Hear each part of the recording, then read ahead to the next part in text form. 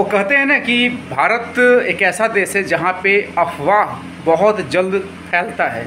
आप कोई भी बातें को, बातों को बोलो, आप कुछ भी झूठ बोलो, कोई भी सोशल मीडिया पे कुछ भी आप डाल दो या ऐसे भी आप कुछ भी काना फुसी कर दो, वो अफवाह होना चाहिए।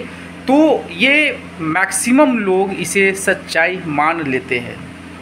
ऐसा ही एक सच्चाई पढ़े लिखे जो भारत की राजधानी है, यानी कि भारत की राजधानी दिल्ली में एक ऐसी अफवाह चल रही है, सोशल मीडिया पे चल रही है, कानों कानों कान अफवाह चल रही है कि भारत का जो सबसे बिज़ी रेलवे स्टेशन है, यानी कि दिल्ली, भारत की राजधानी का जो न्यू दिल्ली रेलवे स्टेशन है, वो बंद हो जाएगी। ये ऐसा अफवाह चल रहा है मैं भी इसे देखा, इसका, इस पर एनालिसिस किया, इसको सर्च किया, इसका मैंने ट्विटर से भी सर्च किया।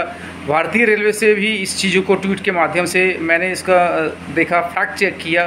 तो मुझे पता चला कि ऐसा कुछ भी नहीं है। मतलब इसमें बताया जा रहा है कि भारत के जो दिल्ली है, यानी कि न्यू दिल्ली रेलवे स्टेशन पे प्रतिदिन अप्रॉक्स सिक्स लाख से ज़्यादा यात्री आते हैं और जाते हैं।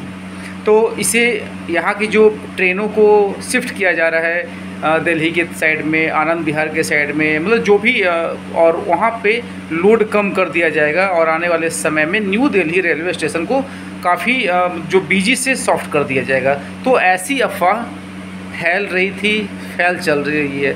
लेकिन जो भारत के रेलवे ने ऐसा ट्विटर के माध्यम से और न्यूज़ वाले को ऐसा जवाब दिया कि ये एक अफवाह है, ऐसा कोई भी विचार भारतीय रेलवे के मन में नहीं आया है। यदि ऐसा कुछ भी होगा तो वो न्यूज़ और मीडिया के माध्यम से, सबसे पहले वेबसाइट के माध्यम से भारत के लोगों को, यानी कि पब्लिक को सूचित कर दिया जाएगा। लेकिन क्या है कि कुछ भी यहाँ पे अफवाहें फैल जाती है और वो जा कर के आगे अच्छा रूप नहीं लेती है। तो ऐसा कोई भी चीज़ नहीं है, ये सिर्फ़ अफवाह है तो इन चीज़ों पे ध्यान न दें।